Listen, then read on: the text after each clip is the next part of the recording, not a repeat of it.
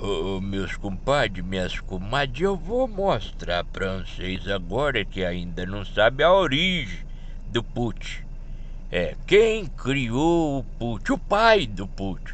O verdadeiro pai do put. Fazenda Boa Vista, 1951, Pedrosa foi o criador do put. Ali na fazenda, brincando ele, João Reis, Pedrosa batia a cara, João Reis escondia. Daí a pouco João Reis escondia, Pedrosa batia a cara.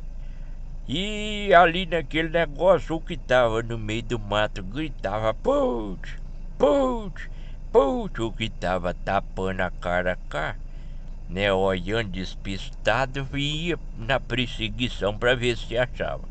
Achando o menino, voltava correndo, batia, cai já falava de novo. Agora eu sei que esconde.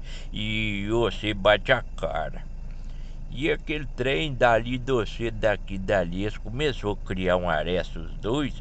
E o Pedrosa, que era o criador, né? Do tal do. Da, da brincadeira do put, invadiu a lei. Invadiu a lei e quis passar no João Reis a perna.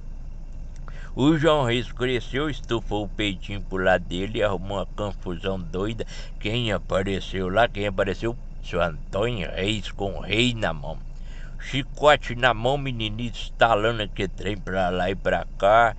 E que trouxe, vocês estão precisando de uma enxada boa. Aqui pra vocês, ó, instalava o chicote no rumo do João Reis, no rumo do Pedrosa, e aquela confusão doida ali, e acabou o put acabou. O, o Pedrosa criou o seu Antônio Reis, acabou com o mesmo dia. Mesmo dia acabou com ele. É, arrebentou ele.